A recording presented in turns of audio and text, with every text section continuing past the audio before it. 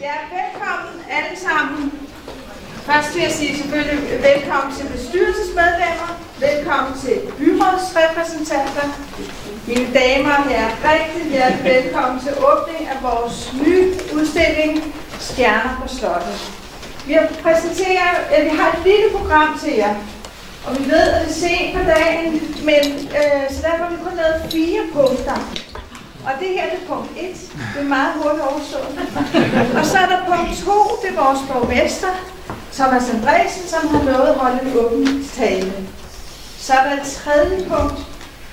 Øh, der tager jeg ordet igen og øh, eller fortæller en lille smule om udstillingen. Og punkt 4, det det nemmeste, det er en forfriskning. Jeg håber, vi får et par, øh, en hyggelig stund sammen.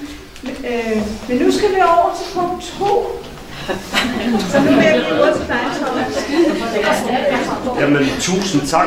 Og man kan sige, at det her det er jo så en af de der situationer, som man som øh, en, der skal holde tale, jo i princippet øh, frygter. Øhm, ikke fordi, at jeg nu bryder ind blandt en masse sludrende mennesker. I stod jo og kiggede på malerierne allerede. Øh, nej, det er mere det her med, når man har en tale, og så man skal holde en mikrofon. Men jeg tror faktisk, det går alligevel. Fra C.V. Eggersberg til Franziska Clausen. Og når vi kalder den det, så er det fordi, at vi har faktisk rigtig mange kunstnere her i vores område, som har gjort en kæmpe forskel inden for kunsthistorien. Øh, og, og flere af dem er faktisk kendt ude i den hvide verden. Det synes jeg da også, vi skal være stolte af. Så har vi øh, kun lige nævnt i titlen de to øh, mest kendte kunstnere. Vi viser også nogle kunstnere, som er mindre kendt, og nogle, der er, er født før Eggersbergs tid. Her, hvor jeg står, og en hel del andre, der er det øh, C.L. Brandsen, man kan se en kunstner fra 1700-tallet. Øh, og vi, vi viser faktisk også nogle kunstnere, øh, som er født efter Franziska Clausen, så vi går sådan lidt ud øh, i, i, i tiden. Vi, vi, øh, her kan man se på første sal se nogle af de allerbedste guldaldermalere, vi har fra vores område. Og der hører Lorentzen til, og der hører C.V. Eggersberg, som er inde i pejsestuen og i gangarealet. Og så har vi øh, inde i det, vi kalder det lange rum, det er jo sådan en lille bitte et, øh, men det er lidt længere end de andre. Der kan man se øh, to kunstnere, en der øh, C.A. Jensen, øh, som har lavet portrætter, og øh, Ottesen, øh, en blomstermaler. Rigtig interessante kunstnere øh, fra 1800-tallet. Og for, for at kunne lave sådan en... I skal lige vide alle sammen, at de fleste værker her er fra museets egen samling. Og det er altså øh, virkelig høj kvalitet. Og så har vi så øh, suppleret med nogle ganske enkle billeder, hvor vi har lånt fra Brands og fra øh, Statens Museum for Kunst, så vi får vist en rigtig fin præsentation af de kunstnere. Her på første sal, så er der yderligere to rum, i tårn, sydtårnet og et, øh, øh, en kunstner i nordtårnet.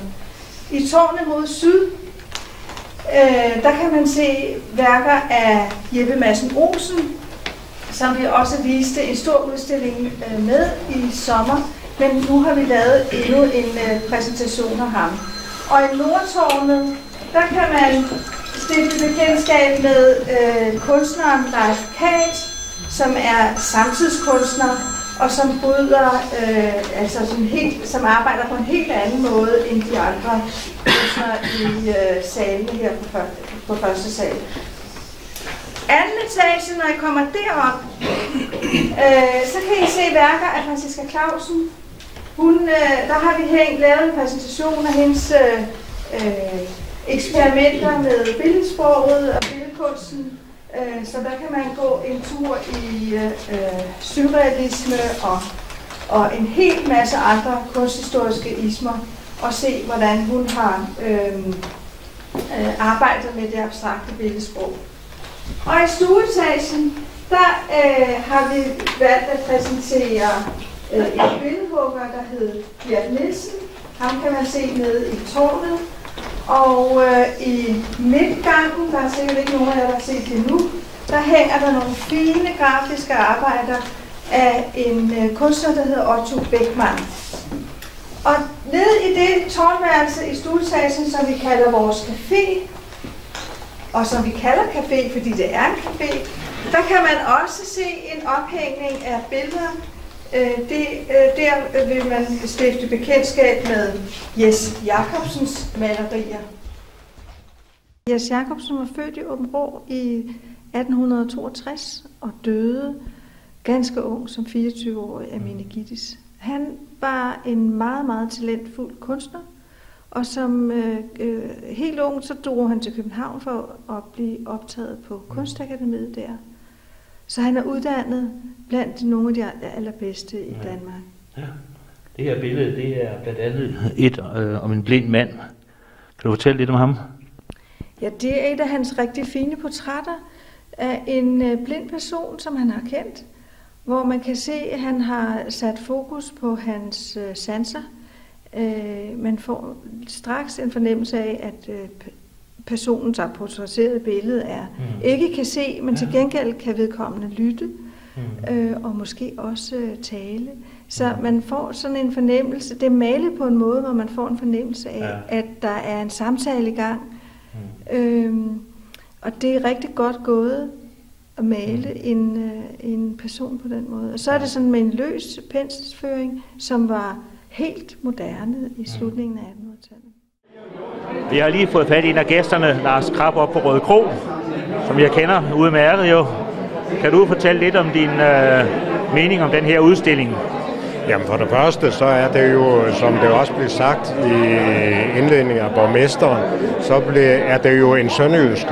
Det, det, det er jo sønderjyske malere, som man har samlet i vid udstrækning, og det er jo øh, noget i sig selv, at det er så mange gode malere hernede, og Franziska Clausen og Eggersberg og Lorentzen og så videre.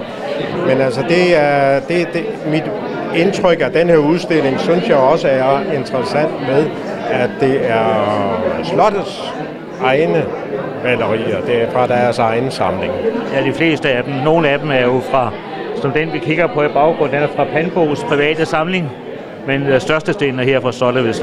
Ja, det er det, og nu øh, står vi lige foran øh, et billede der, hvor Christian den Første, han er, bliver udråbt til konge i Viborg, men jeg synes, det, det er da meget øh, godt, en god baggrund at have i Sønderjylland, i hvert fald med øh, et Dannebro i, i baggrunden. Og Eggersberg var jo en af de fremmeste øh, malere på den tid, og det er han det er verdensberømt i dag. Ja. Han er jo her fra nærheden af Åben hvis nok, ude fra Alsundegn, er han ikke? Jo, det er det. Men altså, det, at, derfor synes jeg nemlig, det er interessant, og ikke bare, at vi samles her om, i Åben Rå, om Åben Rås hofmaler, hvis man kan kalde Franziska Clausen det, men altså også, at det er andre sønderjyder. Nu inde ved siden er, er der en, en maler fra det 17. århundrede, det øh, Lorentzen, som er, synes jeg også er ganske fantastisk. Men det er jo den tidsmalerier.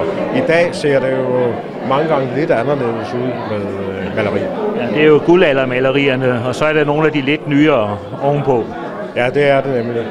Og det er jo også det der som kunst. Hvad er kunst? Kunst, øh, min egen farfar sagde engang, at kunst, det er, da han sad og kiggede på et billede, og han var ikke særlig kunstnerisk interesseret, men han synes bare, det var flot. Og kunst, det er det, som man synes er flot, synes jeg. Det er ligesom med, med rødvin. Det er en vin, der smager godt. Det er en god rødvin. Det synes jeg er en god sammenligning, fordi altså rødvin, øh, det er jo heller ikke alle, der kan lide den samme rødvin. Og det er det samme med kunst. Øh, kunst, det er det, som kan begejstre en, kan give en noget. Det synes jeg, at det er udstillingen her på Slottet, den er god til. Vi siger tak for samtalen, og du må have en fortsat god og hyggelig udstilling. Tak. Vi har samlet en perlerække af skulpturer lavet af billedhuggeren Gert Nielsen, som var født i Friedrichstadt ja. i øh, Nordtyskland, mm. men øh, virkede det meste af sit liv i Danmark, mm. øh, boede i København. Og han, var, han arbejdede i bronze, i træ og i gips, øh, og var rigtig interesseret i at, at arbejde med overfladen på skulpturerne. Mm. Så, så på hans skulpturer, der er her i tårnrummet, der kan man se hvordan han levende gør en flade, hvordan han arbejder med lyset, der øh, øh, reflekterer på skulpturen, og hvordan han arbejder med menneskefiguren, der bliver abstrakt. Jeg får en abstrakt form, der er flere sådan øh, torso-lignende skulpturer. Nogle rigtig spændende, øh, fine mm. billedhuggerarbejder. Ja.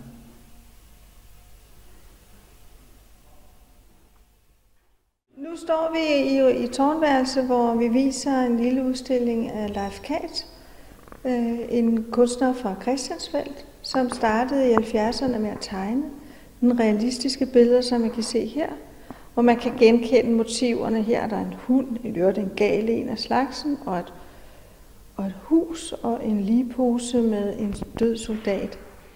Leif Kat var også optaget af at øh, øh, se, hvad en cirkel kan, se, hvad en, et firkantet motiv kan bruges til. Og det har han undersøgt igen og igen i forskellige teknikker, både på, øh, i, øh, på grafisk form, men også i maleri, og, og øh, overført det på keramik. Så han undersøger i sin kunst øh, nogle af de helt grundlæggende elementer i billedkunsten. På udstillingen her på Brundlund Slot kan man se en masse fine øh, hovedværker af Ottesen. Man kan også lytte til en film om ham, så man får lidt øh, information om, hvad det var, han kunne, hvad det var, han gjorde, og hvordan man skal afkode de lidt svære billeder, øh, det også kan være at se på et blomstermotiv eller et, øh, et billede fra 1800-tallet.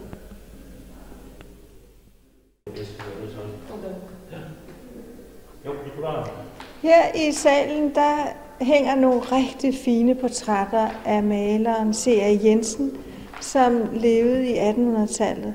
Han kom fra Bredsted ved Husum, syd for grænsen. Han blev portrætmaler og en af de mest populære i tiden øh, til at starte med. Han lavede små portrætter, som borgerskabet havde råd til at købe, og han var meget, meget dygtig til det.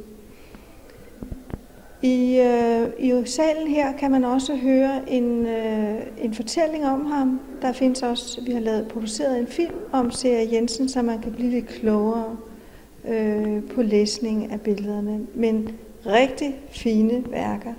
Flere af billederne har vi lånt fra Statens Museum for Kunst, så vi har kunnet supplere med lån derfra med værker fra vores egen samling. Her i denne sal, der kan man se værker af C.A. Lorentzen, som var fra Sønderborg, og som virkede i begyndelsen af 1800-tallet. Han malede øh, portrætter, familiestudier, genrebilleder, øh, historiske malerier, som man gjorde på den tid. Og han var øh, underviser ved Kunstakademiet og har undervist rigtig mange andre dygtige øh, guldaldermalere, som kom efter ham. Men han trådte sin barnesko i Sønderborg og er en rigtig vigtig kunstner for, øh, fra 1800-tallet. I dette rum der hænger der en perlerække af værker lavet af C.W. Eggersberg, som var født ved Blåkrog i Åben Sogn, og han drog til, tidligt til øh, København for at uddanne sig, og havde også mulighed for at komme til Paris, hvor han malede dette lille, fine øh, studie af en nøgen kvinde. Og det har vi lånt af en privatsamler, øh, Christian Panbo, hvor vi har været, vi, øh, vi har været så heldige at kunne supplere udstillingen her øh, med stjerner på slottet med nogle enkelte indlån. Eggersberg drog også til øh, Rom for at øh, male, og der malede han dette lille fine studie her, hvor han har været optaget af dagliglivet i Rom øh, og farverne i, øh, i den varme, det varme Italien. Og billedet her, øh, et fint øh, historiemaleri, som øh, viser en scene øh, fra en dansk, den danske historie, som er også et typisk maleri, som øh, man arbejdede med i øh, 1800-tallet, hvor hvor kunstnerne skulle uddannes til at være historiemalere. Og herover kan man se et studie fra øh, et lille kig fra øh, Københavns Havn, hvor man ser Christiansborg Slot i baggrunden. Et lille genrestudie, hvor der foregår noget med øh, en mand og en kvinde og et lille barn i venstre side, og så er der gang i den over i højre side. Og væggen, øh, den lille væg herover, der kan man se tre af Eggersbergs meget fine portrætter. Eggersberg er en af de kunstnere, som fik allerstørst betydning for den danske malerkunst i 1800-tallet. Så ham kan vi takke øh, rigtig meget for sin dygtighed, men også for sin pædagogiske virke. Han var nemlig professor ved Kunstakademiet og uddannet øh, yngre kunstnere. I tårnværelset her kan vi se nogle malerier af den sære kunstner Jeppe Madsen Olsen fra Christiansfeldt. Han levede fra 1891 til 1948 og lavede nogle mærkelige billeder. Han var stærkt optaget af døden som tema, og det kan vi især se i dette her billede, hvor han har malet et øh, træ, hvor der hænger en død mand. Øhm, og til højre for den døde mand, så kan man se en personificeret død med en le, og i baggrunden øh, et kapel. Og hvis man ved, hvordan der ser ud på øh, Brødremenighedens kirkegård i Christiansfeldt, så kan man se, at motivet stammer derfra. For forgrunden, der kan man se gravsten af de firkantede felter, der er nede på billedet. I motivet her, som også er malet af Jeppe Mads Olsen, der kan man se øh, Christiansvalds øh, kirke, øh, Brødremenighedens kirke, og øh, udenfor på kirkepladsen. Der er jo et mylder af mennesker. Øh, man kan erfare, at der er mænd, der går øh, alle sammen øh, i en bestemt retning, og der er så også kvinder, der kommer ud, øh, ud fra kirken. Så det er sådan et, øh, et, et billede med bevægelse, og alligevel er det sådan tyst og ikke særlig muntert. Men øh, en meget fin farveholdning i billedet, hvor man kan se, at der er lys for oven, øh, ovenover kirken. Himlen er rar og venlig. På øh, slottet har vi videt anden etage til Franciske Clausen, hvor vi har øh, lavet en fin ophængning af nogle af hendes øh, hovedværker. Franziska Clausen blev født i Åben Rå og uddannede sig øh, flere steder i Tyskland og også i København, og endte med at øh, øh færdiggøre sin uddannelse i, øh, i Frankrig, i Paris. Hun var optaget af, og, øh, af det abstrakte maleri som en af de første abstrakte malere i Danmark. Og hun arbejdede med øh, formelementer på en særlig måde. Her i rummet kan man se eksempler på maskinæstetik, øh, som hun har arbejdet med sammen med øh, billedkunstneren Fernand Léger. Man kan se eksempler på en stilretning, der hedder Neue Sachlichkeit fra Tyskland. Man kan også se eksempler på surrealistiske øh, motiver, og i det hele taget øh, øh, mange af de stilretninger, som, som hun øh, øh, kom igennem. For at ende med øh, helt abstrakt, altså genstandsløs maleri, som man kan erfare udgangen. Franciska Clausen var optaget af at forny billedkunsten, så billedkunsten var øh, relevant for den samtid, hun levede i.